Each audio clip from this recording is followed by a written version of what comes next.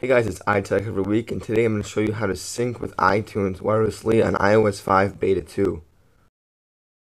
In iTunes, you can see uh, down here there are a few different options that are available in iTunes 10.5 Beta 2, um, along with iOS 5 Beta 2. The main thing I noticed in iOS 5 Beta 2 is they now have wireless syncing uh, available on your iDevice. You can just, without a USB cord, you're able to sync to your iTunes library as long as the iTunes library is open on your computer. Uh, so you can see I have my device selected on the left side over there. And uh, if we uh, go back over here, you can see there are a few different options in here.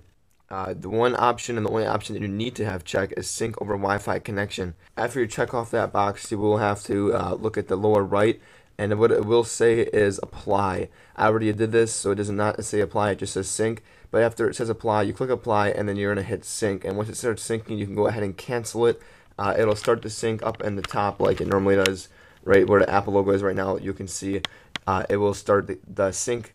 So once that sync starts and you cancel it up on top, you're now ready to sync wirelessly on your device. And make sure that box down there is still checked and it says sync over Wi-Fi connection. So you can now disconnect your device from your computer.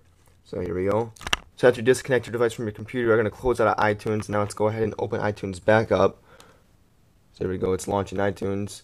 Now we are in iTunes and I'm going to go into my settings app on my iDevice now. You're going to go to general, you're going to tap on iTunes sync, and uh, there's only one option in here, and that is to sync now. And you do see that once I went into iTunes sync on my computer, my device is on the left, and uh, if it'll focus, there you go. Uh, my device is connected now, and if we do go ahead and touch on my device on the left here, and to know that you are uh, connected wirelessly, it says connect this iPod using a USB cable in order to update or restore its software. And that's how you know that uh, you are connected wirelessly to iTunes. Now all you have to do is on your device, you can just go ahead and you can just tap on the one option available in iTunes Sync, and that's to sync now. So once you hit sync now, it'll take a little bit to load up. There you go, it's starting. On the computer, it's preparing to sync.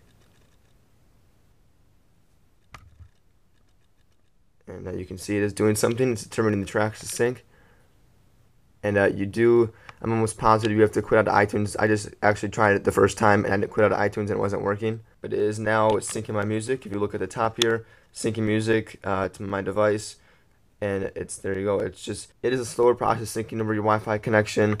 Um, um, I have a very slow internet connection, and that may be why it's taking so long. Because normally I'd probably be at like SON 50 already if you're syncing over your uh, USB device. Okay, maybe not that high, but you'd be way past three SONs. On your device, you can see that it's also uh, syncing it, and I don't even need uh, my computer anymore. I'm pretty sure, I never tried this, I'm pretty sure you don't even have to have these on the same network. Uh, I think you can just be anywhere you want as long as you have internet connection on your device and your uh, iTunes is open on your computer, I'm pretty sure you can just go ahead and uh, hit sync now and it should start to sync wirelessly from wherever you are. You don't have to be on your same network and it should still sync, but you can't see it is uh, syncing all my stuff yet and uh, it is working correctly. So guys, that was just a quick demonstration of iTunes Sync in iOS 5 Beta 2, which was released yesterday. Uh, it is a very cool thing, but it will definitely take uh, a lot more time to sync being over an internet connection. Uh, unless your internet connection is fast. I would assume having a fast internet connection helps speed up the process a little bit, uh, but mine is pretty slow, so it will take a while. but you can see it does work, and if you guys are wondering how to get onto iOS 5 Beta 2, you do have to get your UDID registered with an Apple developer account. Uh, that's how I did it. I actually don't own the Apple developer account. I got it signed with someone else's, and uh, that allows me to uh, restore onto the iOS 5 Beta 2 software.